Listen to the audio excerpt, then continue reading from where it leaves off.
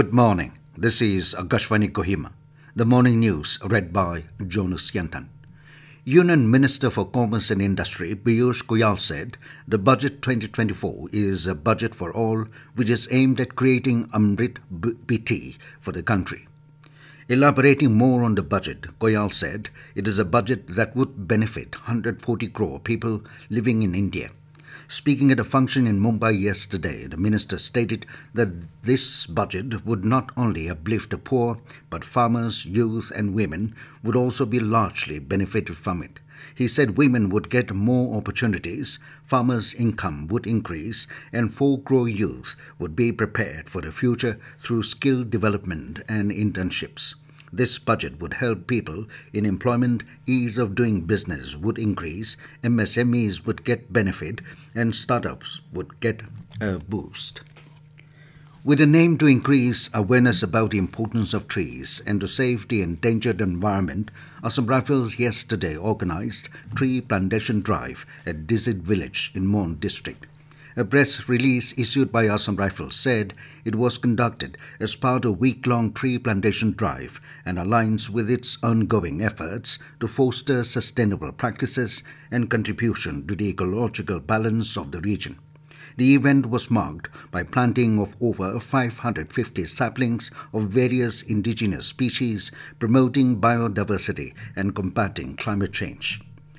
Touching upon the challenge of drug menace, Prime Minister Narendra Modi said every family is worried that their child might get caught in the grip of drugs.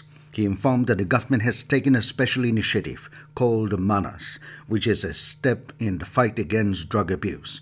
Addressing the nation in his Mann Ki Baat program on Akashvani yesterday, he said the helpline and portal of Manas were launched recently and a toll free number 1933 has been issued. Modi said anyone can call on this number to get necessary advice or information related to rehabilitation. The Prime Minister said all information shared with Manas will be kept confidential.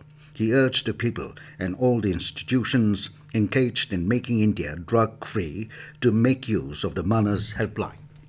National Testing Agency NTA has declared the result of the Common University Entrance Test CUET UG 2024.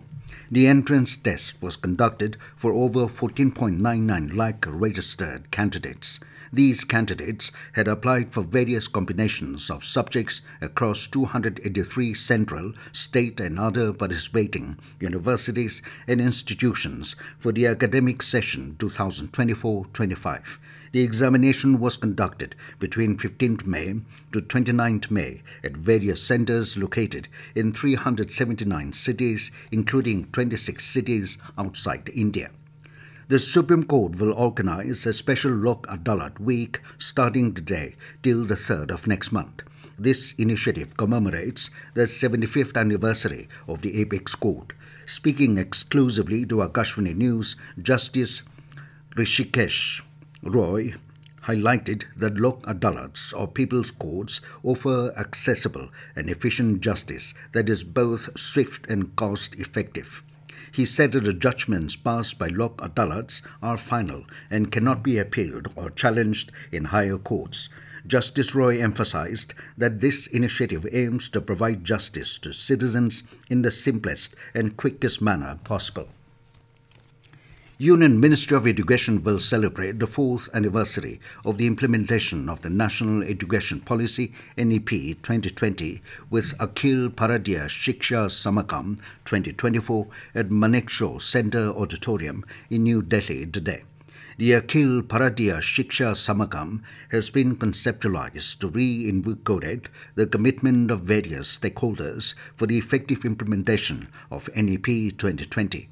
On the occasion, Union Minister for Education Dharmendra Pradhan will share his experience in spearheading the implementation of the NEP 2020.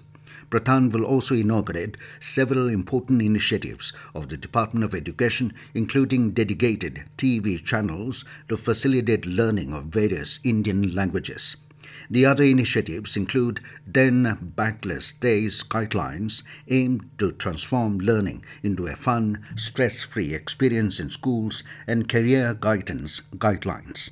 Pradhan will also unveil several books and lecture notes aimed at promoting the Indian knowledge systems among students and teachers. With that, we come to the end of morning news. Have a nice day.